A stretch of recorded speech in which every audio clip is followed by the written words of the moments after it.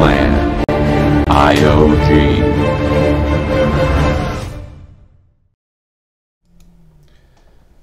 Hello, this is Legalese, and today I'm going to show you how to set up hotkeys for your inventory so that you don't have to um, reach across the keyboard to get to your inventory keys. Right here, you can see on my keyboard I have a number pad where I have um, I've used WarKeys to lay them out um, in a vertical fashion. Otherwise, one, two, three, four, five, six, you'd have the keys like that for your inventory. I have them set up like this with WarKeys, but that's still a long reach to get back and forth um, in game. So what we're going to do here is um, set up auto keys.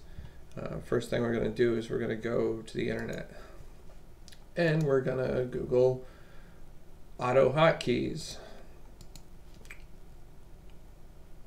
And there it is, AutoHotkey. Um, and we're going to download that. Download. And it's going to ask you to save. I'll save to my desktop. And then you click on that to install.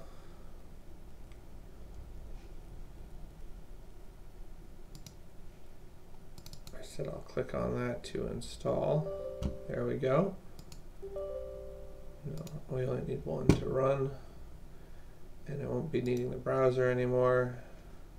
Since I already have it installing, it's asking me if I want to repair or whatnot. Um, I'll go ahead and say repair. You'll need to close the following scripts reload. So that's going to go ahead and do that. And then I have a link for you. Um, it will be, uh, let's see if I can, here.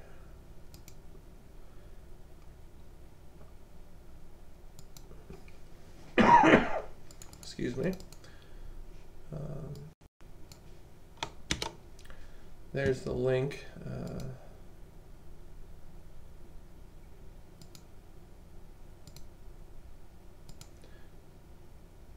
that's where I'm going to put it in a Google Drive. I'll also put it in the description below. Um, but if you need to pause and write that down, I don't know why. Uh, if somehow it doesn't make it into the description or you're watching this video somewhere else, that's the link. Um, yeah, don't save, and we'll delete that. Um, exit. Okay, so now you've installed AutoHotkeys. So that's a program. It just runs a framework for your script. It doesn't actually do anything on its own. Um, and then we're going to download that program from uh, Google Drive and or the script. And here's the script, and I want to open it and show you what it is um, in Notepad first, just so you can see uh, what what it's doing. Um, so mouse position spell AutoHotkey one. Um, you know, so it's if then, and there's a, a series of um, questions, but uh, essentially what it's doing is here inventory keys, making it so that alt um, plus the uh, another button will make your inventory uh, go. So you'll get number pad 1, number pad 7, etc. Um, so these are set so that, and then you have to run the script.